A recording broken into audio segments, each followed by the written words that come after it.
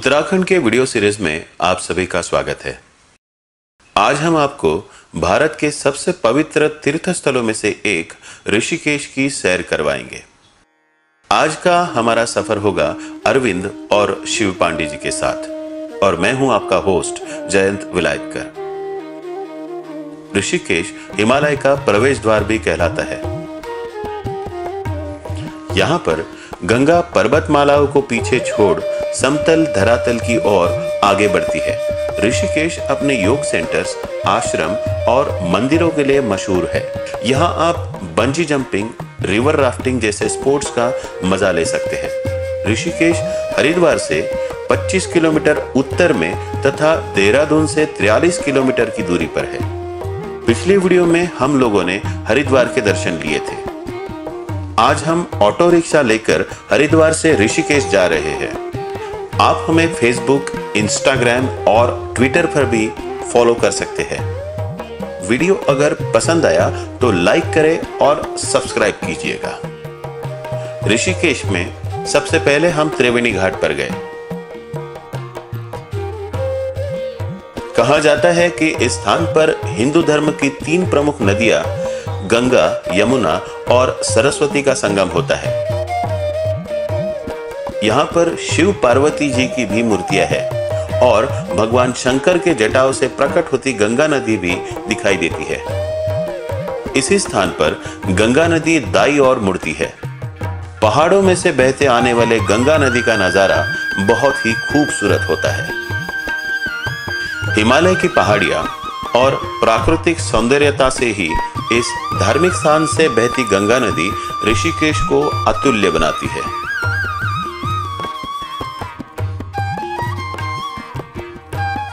यहाँ स्नान करने का ये एक प्रमुख घाट है, जहाँ प्रातः काल में अनेक श्रद्धालु पवित्र गंगा नदी में डुबकी लगाते हैं।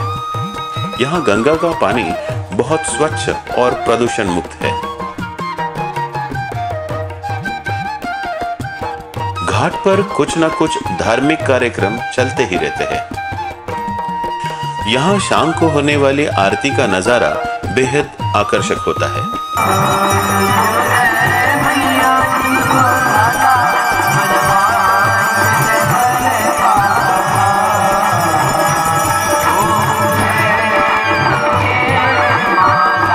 त्रिवेणी घाट के पास ही भरत मंदिर को भी आप भेंट दे सकते हैं।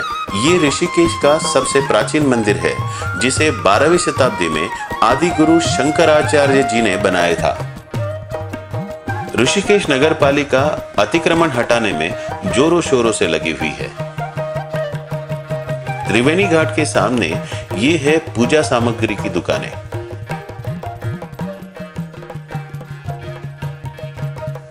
थोड़ी देर तक हम लोग बाज़ार में घूमे। क्यों ना अब थोड़ी पेट पूजा की जाए?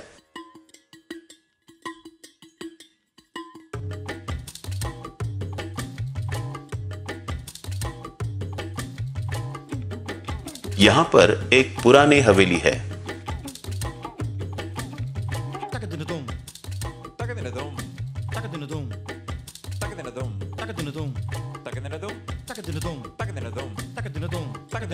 तो ऋषिकेश में आपको विदेशी सैलानी भी बड़ी संख्या में दिखाई देते हैं। सन 1960 के दशक में इंग्लैंड का प्रसिद्ध बैंड बीटल्स ऋषिकेश के पास योग का अध्ययन करने के लिए आए थे। तभी से राजाजी नेशनल पार्क में बीटल्स के नाम पर आश्रम प्रस्थापित है। अब हम लक्ष्मण झूला देखने जा रहे हैं। सामने इसराइल से आए हुए यात्री दिखाई दे रहे हैं। गंगा नदी के एक किनारे से दूसरा किनारा जोड़ता यह झूला नगर की विशिष्ट पहचान है। कहा जाता है कि गंगा नदी को पार करने के लिए लक्ष्मण जी ने इस स्थान पर जूट का झूला बनाया था। इसका उन्नीस सौ उनतालीस में पुनर्निर्माण किया गया था। ये एक सस्पेंशन ब्रिज है।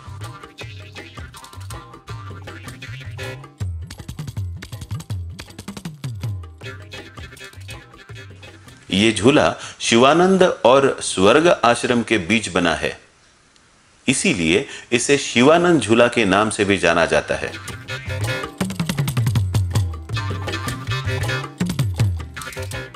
सामने जो बड़ी इमारत दिखाई देती है, वे कैलाश निकेतन मंदिर है। इसे तेरह मंजिला मंदिर के नाम से भी जाना जाता है।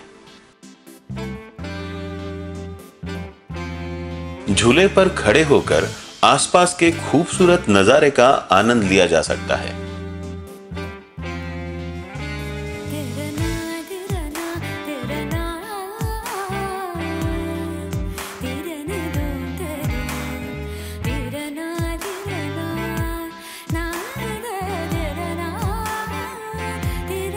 झूले के बीचों बीच पहुँचने पर आपको झूला हिलता हुआ प्रतीत होता है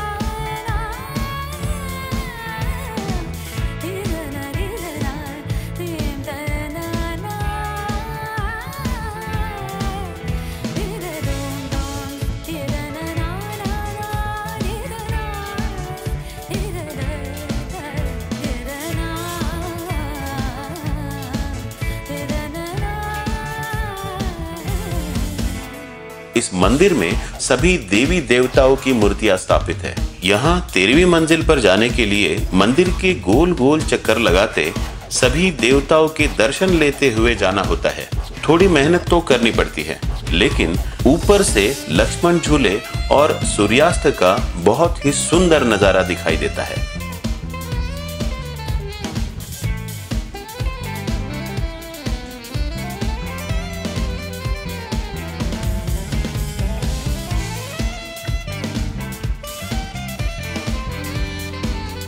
इस भक्ति भाव से भरे वातावरण को हम शब्दों में बयान नहीं कर सकते।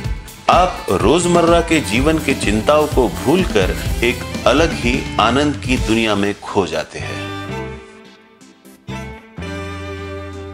इसी मंदिर के निचले हिस्से में घाट पर गंगा जी की आरती होती है। नदी पात्र से ही हमने पवित्र गंगा माता जी की आरती का आनंद उठाया।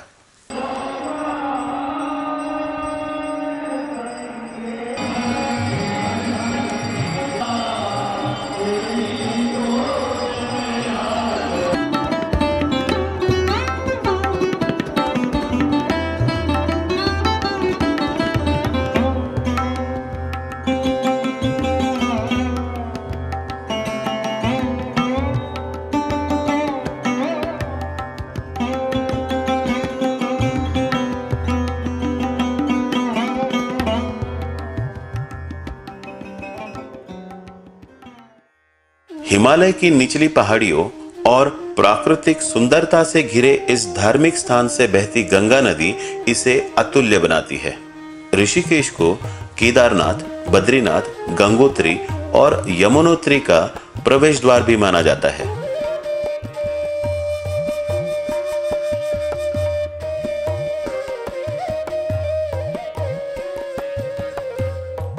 कहा जाता है कि समुद्र मंथन के दौरान निकला विष शिव जी ने इसी स्थान पर पिया था। ये भी कहा जाता है कि ऋषि रैभ्य ने यहाँ ईश्वर के दर्शन के लिए कठोर तपस्या की थी। उनकी तपस्या से प्रसन्न होकर भगवान ऋषिकेश के रूप में प्रकट हुए। तभी से इस स्थान को ऋषिकेश के नाम से जाना जाता है।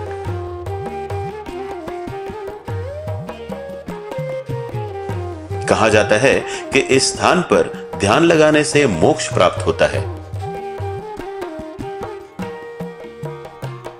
सामने राम झूला दिखाई दे रहा है। लक्ष्मण झूले की तर्ज पर ही ये झूला बना है। ये पुल गंगा नदी पार करने में उपयोग में लाया जाता है। इस झूले का इस्तेमाल पदचारियों एवं दुपहिया वाहनों के लिए होता है।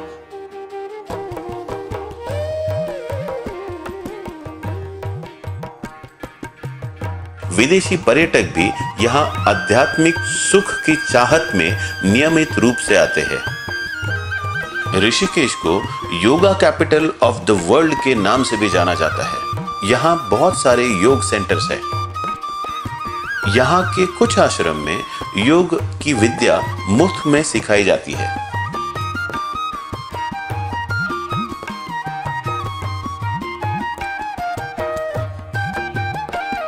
राम झूला पार करते ही गीता भवन है। यहाँ रामायण और महाभारत के चित्रों से सजी दीवारें इस स्थान को आकर्षक बनाती है। तीर्थयात्रियों के ठहरने के लिए यहाँ सैकड़ों कमरे हैं। ऋषिकेश में आप आए हैं तो 22 किलोमीटर की दूरी पर 3000 साल पुरानी विशिष्ट गुफा, जो कि बद्रीनाथ केदारनाथ मार्ग पर स्थित है उसे भी आप भेंट दे सकते हैं। नीलकंठ महादेव मंदिर, लगभग 5500 फीट की ऊंचाई पर, स्वर्ग आश्रम की पहाड़ी की चोटी पर नीलकंठ महादेव मंदिर स्थित है। कहा जाता है कि भगवान शिव ने इस स्थान पर समुद्र मंथर से निकला विष ग्रहण किया था। विषपान के उपरांत विष के प्रभाव से उनका गला नीला पड़ा था और उन्हें नीलकंठ के नाम से जाना गया। योगा के साथ साथ ऋषिकेश अपने आयुर्वेदिक उपचार पद्धति के लिए भी जाना जाता है। हमारा ऋषिकेश का सफ़र यहीं समाप्त होता है। हम आशा करते हैं कि आपको ये वीडियो ज़रूर पसंद आया होगा। हम भारत के और भी धार्मिक और पर्यटक स्थलों को भी भेंट देंगे। अगर आप हमारे नए वीडियो मिस नहीं करना चाहते तो चैनल को ज़रूर सब्सक्राइब कीजिएगा। ये प्रक्रिया एकदम निशुल्क है। अगर ये वीडियो देख के आपको खुशी होती है तो अपने मित्रजनों और परिवार के अन्य सदस्य को भी ये ज़रूर दिखाएँ। कमेंट बॉक्स में आप हमें बताएँ कि आप हमारे आने वाले वीडियोस में कौन कौन सी पर्यटक और तीर्थ क्षेत्र देखने की आशा रखते हैं। जय गंगा मैया।